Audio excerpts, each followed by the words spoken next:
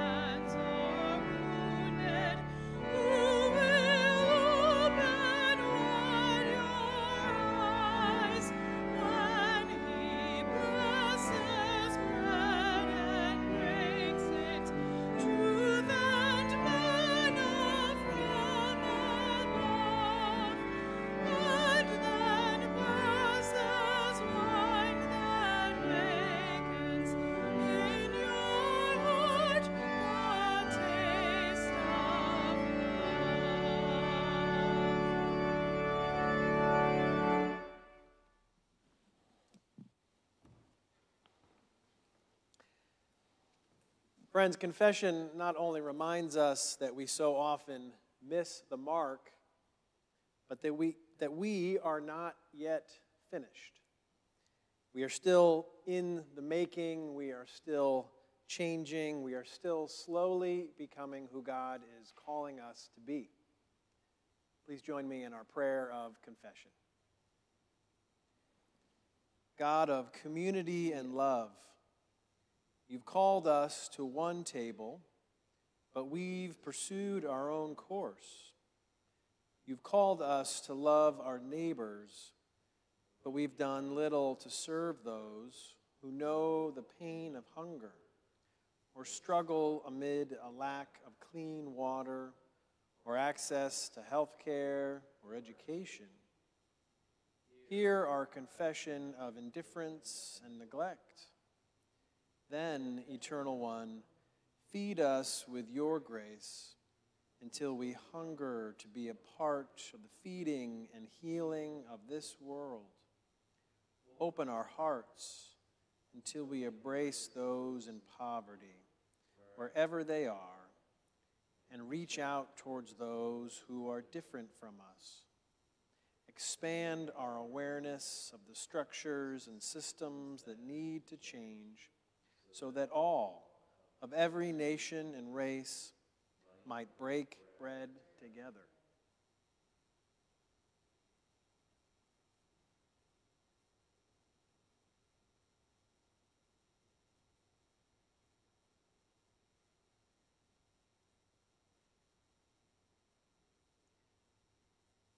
Even when our cups run dry and our plates seem empty, God's generosity overflows.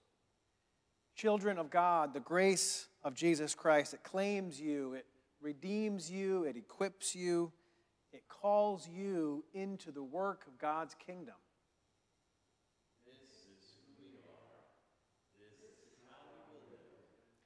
Thanks be to God. Amen.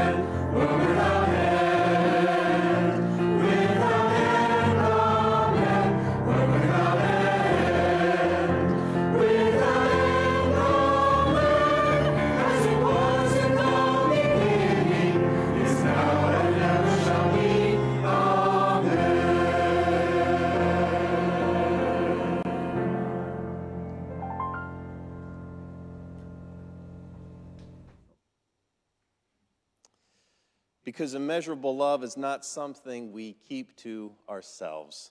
We practice sharing it with those around us, physically and remotely. May the peace of Christ be with you. And also with you. So we invite you, if you haven't had a chance yet, friends, to check in online, share that you're here, extend your remote neighbors the greeting of peace and love and welcome. And children, we invite you to make sure you are in a good spot to share in our children's message now that Miss Janess will be leading.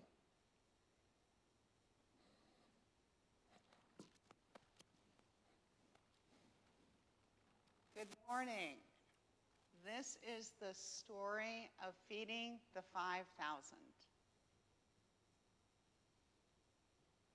Using godly play.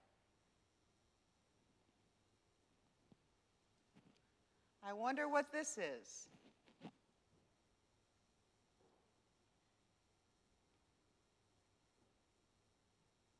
And this.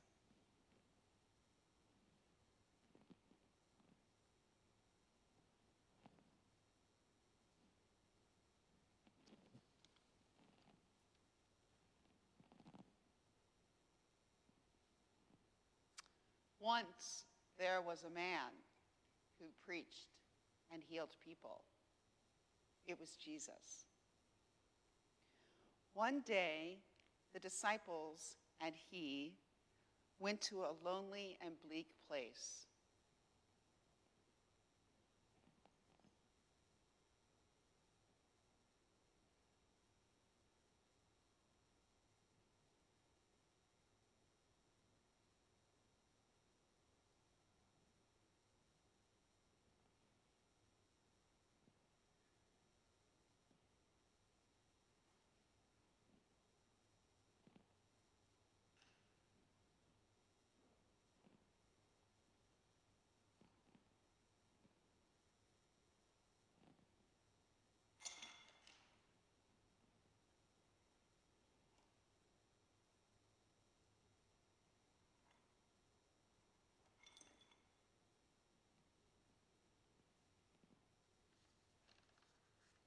Jesus and the disciples had crossed Lake Galilee, and a large crowd, large, had gathered to meet him because they had heard about his miracles of healing of those who were ill.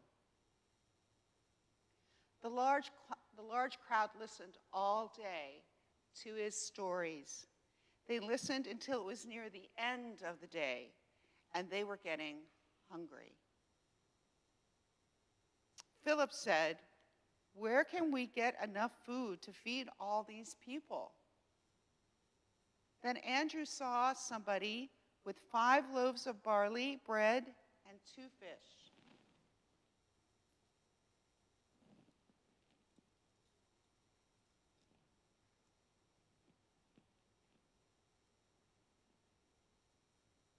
But it's not enough to feed the large crowd. Jesus said, have everyone sit down. Then Jesus took the bread and he thanked God. Then Jesus took the fish and blessed the fish and thanked God. Then Jesus told the disciples to pass the food out.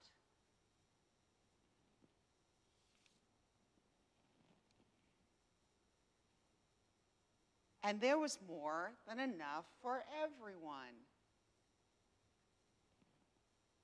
After the meal, Jesus said, Gather up everything that is left over. And there were 12 baskets of food and fish and bread left over.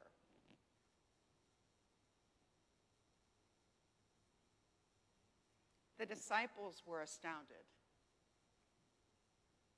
The crowd was astounded.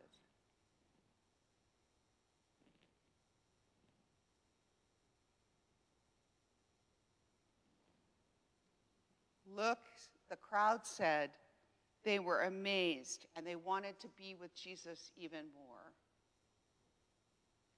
I wonder, I wonder what the disciples thought as they gathered up the 12 baskets of fish and bread. I wonder what the crowd thought when there was such a little bit of food and it became enough for everyone. I wonder what you think is the most important part of the story.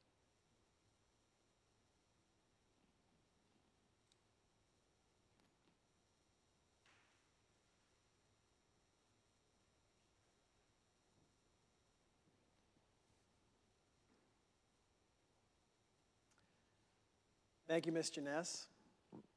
This morning's scriptures will be read by two of our confirmation teens. My name is Abby Carter, and our first scripture reading comes from Luke chapter 5, verses 27 through 32. After this, he went out and saw a tax collector named Levi sitting at the tax booth. And he said to him, Follow me. And he got up, left everything, and followed him.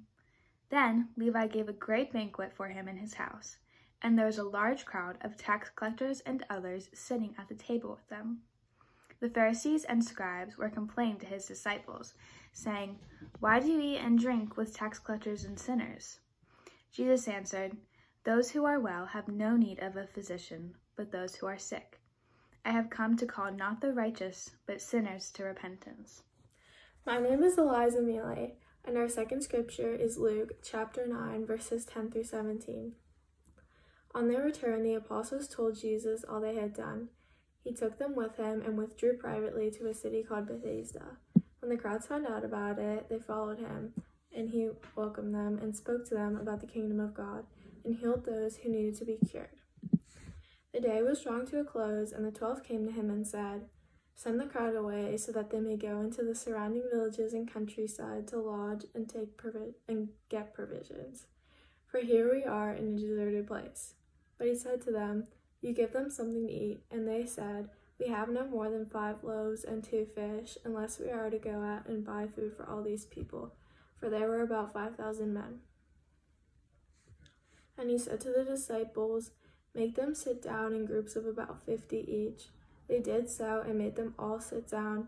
And taking the five loaves and two fish, he looked to the heavens, blessed and broke them, and gave them to the disciples to set before the crowd and all ate, and all were filled. What was left over was gathered up into twelve baskets of broken pieces. For the word of God in Scripture, for the word of God among us, and for the word of God within us, thanks be to God. Friends, today, in addition to talking about World Communion Sunday, we're diving into what has to be, by far, in fact, the tastiest of all faith practices Food. Yum. Food as a faith practice. Seriously, have you actually ever thought of food as a faith practice? Well, food as a means of practicing my faith. Well, Scripture is filled with stories revolving around food. And in the church, we've long celebrated communion with bread and wine as a central element of our worship service.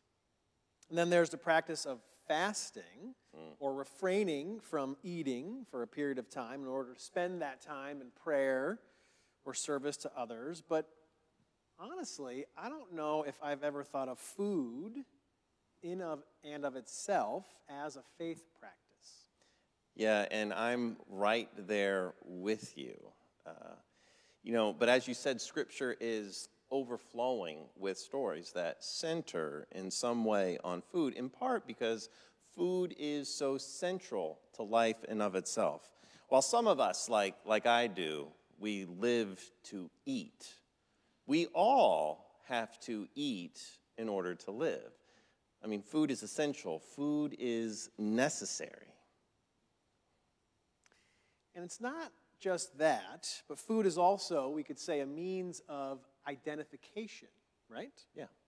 So, I mean, just look at this spread in front of us right here. We have various cultural foods that represent different regions and nations, different ethnicities and cultures, demonstrating how food can connect us back with our ancestors mm-hmm. and from lands from hundreds, even thousands of years ago, reminding us of who we are and where we came from. That's right. We've tried to represent uh, different areas, different cultures here. We've got different breads. We've got soft tortillas and hard taco shells. We've got Greek pita bread, French baguettes. We've got some various kinds of fruit, a couple mangoes, papaya, a tomatillo, star fruit. How funky is that? We've got potatoes and grain. We've got rice, and beans, a staple, a staple in so many cultures. We've got rice and curry, a staple of the Far East. We've got, got healthy, plantains. homegrown fruits and vegetables right alongside a bag of potato chips. yeah, and all these are just a tiny fraction of culturally identifying foods, right? But there are also those kinds of foods that are even more intimately tied to our hearts and our identities. They're, they're foods that hearken or take us back to people and times and places we hold dear. They can connect us very meaningfully with memories that fill us with hope or love or peace. Now, many call this phenomena comfort food because it does so much more than fill our bo- bellies and our bodies, it, it touches our hearts. So, w- what's one of your comfort foods? Well, so for me, it's actually a, a restaurant in my hometown of Unionville, Connecticut. It's called George's. And while George's is primarily a pizza place, there's something else I love to get there. And it's in Connecticut. We don't call them hoagies. We don't call them subs. We call them grinders. That's not good. and George's makes a great grinder. And just thinking about it reminds me of home and family and memories that make me smile. Gotta love a good hoagie, don't you? I don't know what you're talking about. How about you, Rob? Uh, I have quite a few. One would be my, my mother's homemade soup, something warm about soup. But if I had to pick just one, it would be my grandmother's homemade macaroni and cheese. Even the smell of cooking pasta to this day, it will take me back to when I was a little boy, just sitting in my grandmother's kitchen, joyfully anticipating that meal. So clearly, food is more than just physical nourishment. It's also connected to our memories, it's connected to our emotions. So we shouldn't be surprised that it's also very intimately connected to our faith as well. Yeah, as Jesus revealed time and again throughout all four Gospels, right? Faith and food, they go hand in hand. So much so that it was actually really hard to pick just two scripture lessons to epitomize what we're talking about here today. But that was the limit we gave ourselves, so we stuck with the two that um, we had so wonderfully read by Abby and Eliza. The first one we selected was Luke 5, in which a bunch of religious elites or those in power go and confront Jesus for the people that he was eating with. Now, what was originally offensive about this story wasn't the religious leaders' objections to Jesus eating with sinners. It was to the very idea that Jesus, a respected rabbi of his day, who even his opponents agreed was to be respected, would eat with such an unacceptable company. Yeah, just as it still does today, if we're being honest, right? The table at which we eat says something about us. So if you ate back then with the political elites, that meant that you held powerful company, and so you had power yourself. Or if you ate with, say, the religiously powerful, it meant that you were liturgically connected and considered holier than other people. And if you, say, ate with the peasant class, it meant you were counted among the majority. You were fairly oppressed, but you also still had enough. You had citizenship of the land, and you had good company that you could keep. But if you were sick, or if you were a known sinner to have done something wrong, or if you were simply poor, it meant you had none of these things. And it meant you were outcast. And it meant that people would not eat with you lest they be outcast too. To eat with someone was to identify with that person. So take the school or workplace lunchroom, for example. Can you remember the pain on the first days of school trying to find the right table to sit at? A table that you'd be welcome at, but wouldn't necessarily lower your social standing. Same thing for adults at work or in our leisure or before COVID in our homes. How many of us, honestly, eat at tables of diversity, right? How many of us eat with those who have a different ethnicity than we do? Or a significantly lower socioeconomic status than we do? Do we intentionally eat with those who are different than we are, those who live with greater needs than we do?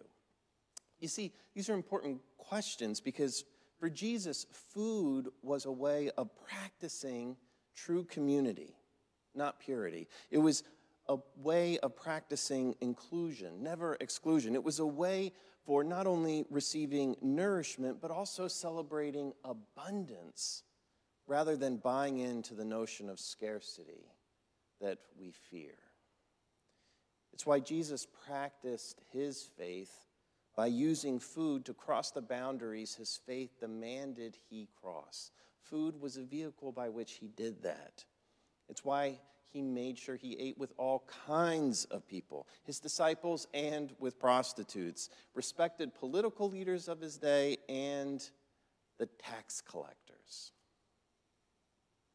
Now, in Luke chapter 9, our second reading, we uncover Jesus miraculously feeding 5,000 men, plus women and children, who'd come to hear from him on a Galilean hillside.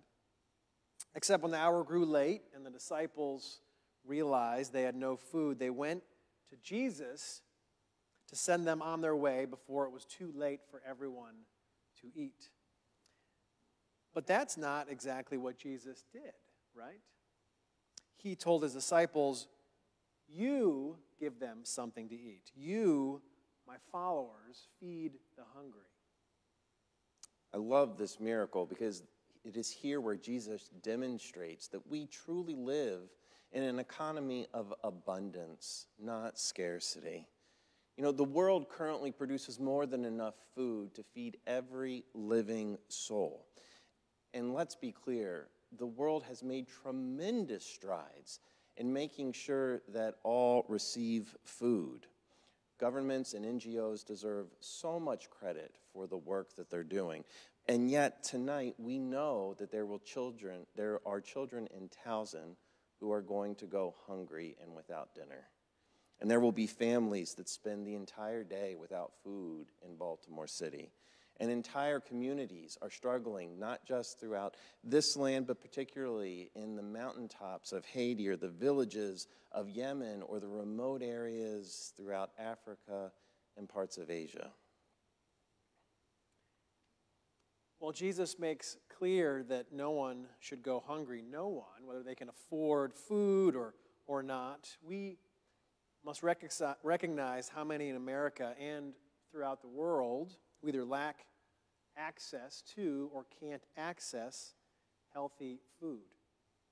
Because of the higher costs of fruits, vegetables, and healthy proteins, these families eat what they can afford, which is often the highly processed, unhealthy foods that aren't intended to be the staple of anyone's diet. You know, it's actually why there are so many impoverished people who are both overweight and malnourished, right?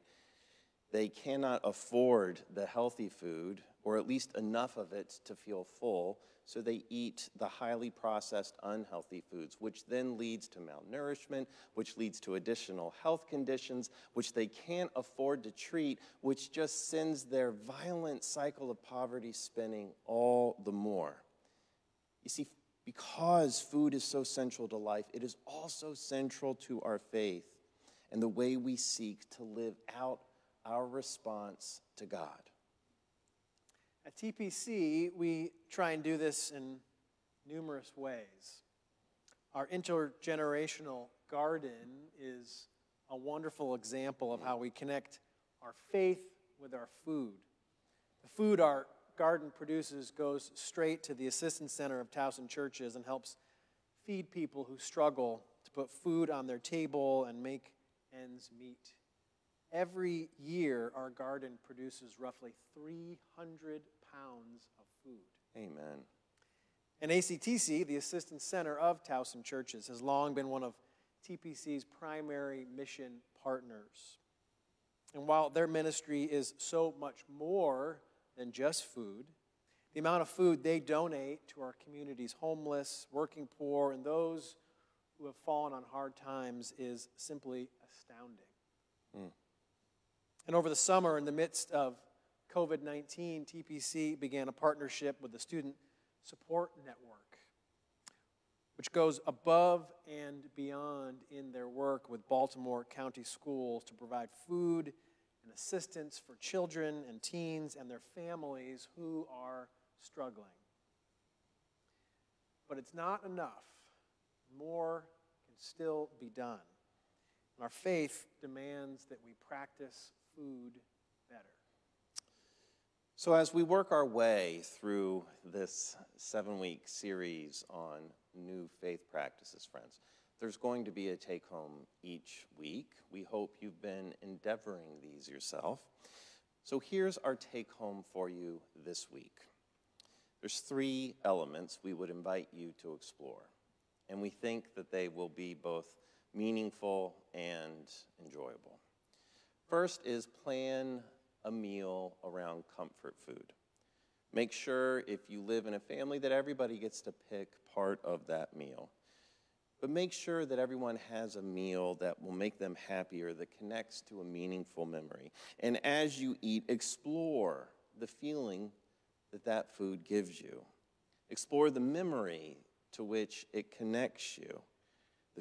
Explore feelings of love and warmth that build up within you. Comfort food. The second, eat a meal from another culture. Or if you're not able to meet to make it or purchase an entire meal from another culture, at least eat a food, a fruit, or a vegetable. And when you do, explore that region, that culture of that land from which the food comes. Learn about some of that culture's history, and then reflect on how God is just as present in that culture, in that land, with their people, as God is in ours. And then finally, finally, we would ask that you take the additional step of giving a donation, a donation of your money, a donation of actual food, or a donation of uh, your time and energy to a local charity that combats food insecurity. We've already named a few. We would invite you to explore them, or perhaps one that you're well aware of and have a passion for. So, in doing so, we are practicing the way in which food both expands our table but also enables us to reach further and further out and extend the love and grace of God. So today, as we celebrate World Communion Sunday, a day in which we gather with Christians across the globe at our Lord's table, we take intentional time to remember that first, food is both a means of nourishment as well as connection. And it's also for everyone. It's given readily and freely, not to be hoarded or reserved. For when food is shared widely and appreciated deeply, as this table makes clear, it becomes a means of God's grace in our lives, a meal of unity and love with God and with each other. So, friends, let us practice our faith as we now prepare for the feast. So, if you do not have it with you already, we would invite you to grab a piece of bread or a cracker, a cup of wine or juice or water as we come to our Lord's table, gathering with Christians from around the world. For on World Communion Sunday, we remember that in the early hours of this morning, while all was quiet and dark here at home, the sun was rising on the other side of the world. And with the dawn of this new day, God's people began gathering for worship amid the sounds of drums and pipes and stringed instruments and pianos and organs. And now we too get to join in this joyful celebration with all those who call upon the name of our Lord. For this is, friends, the joyful feast of unity. We celebrate how Christ has gathered people from around the world to share in this feast, across political lines, economic lines, in places where there are powerfully and politically connected people, and also those where there are the poorest of the poor. With all of them, we share a meal, remembering and celebrating the one who proved shalom, deep peace, possible. And so come, you from the east and the west, the north and the south, come with your doubts, come with your hopes, come with your inadequacies, inadequacies come with your strengths.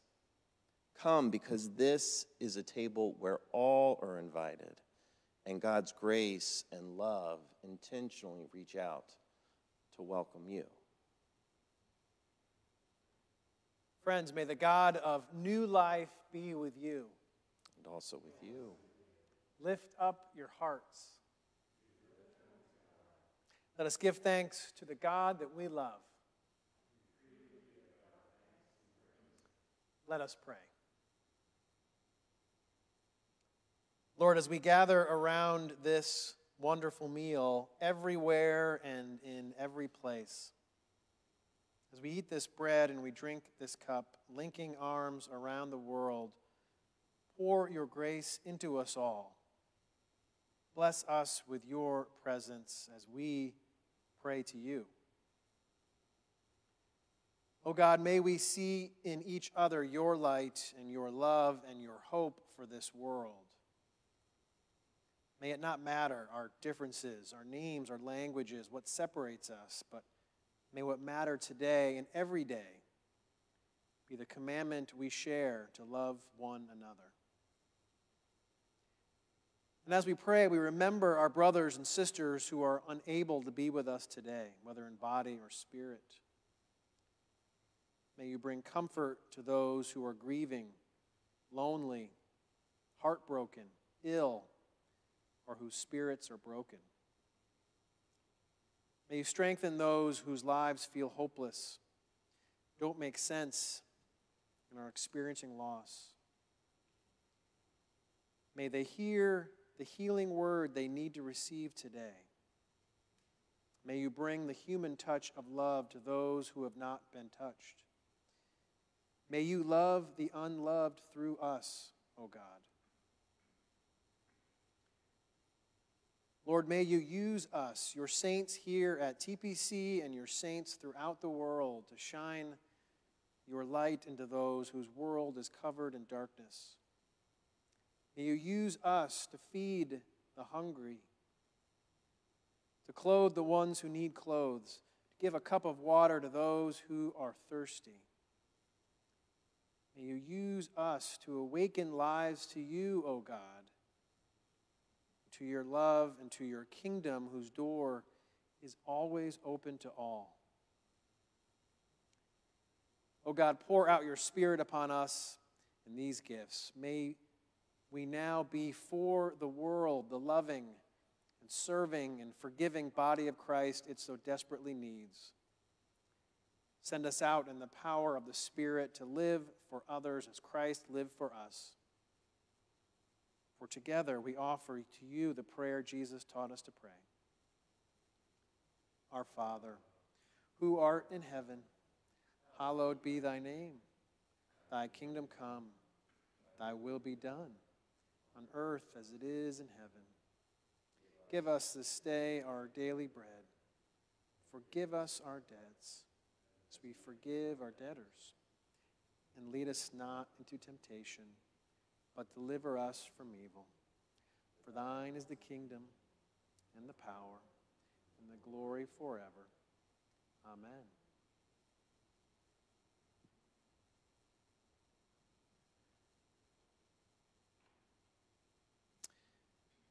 The night Jesus was betrayed, he gathered with his friends for a meal. And after giving thanks to God, he took the bread and broke it. And he gave it to each of them, saying, Take and eat. This is my body I give to you. Do this in memory of me.